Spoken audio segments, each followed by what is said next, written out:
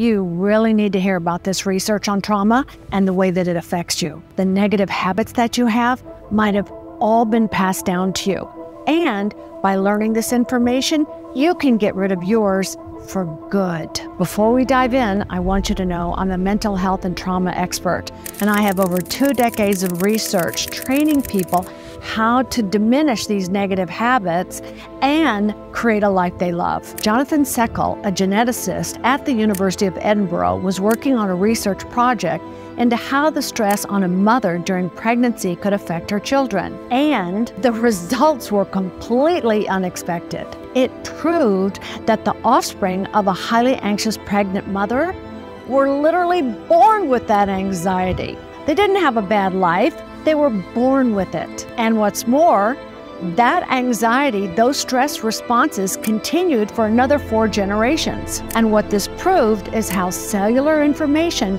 can get passed from one generation to the next and the next and the next. But you can clear it at the source in your cells. So, if you're trying to change these negative patterns or any trauma, just by using your brain or some sort of therapy that doesn't include working on the body and reaching the cells, think about it like a hamster, round and round and round. If you want to stop that cycle and clear generational trauma for good, I can help. Check out the link in the bio. I got you.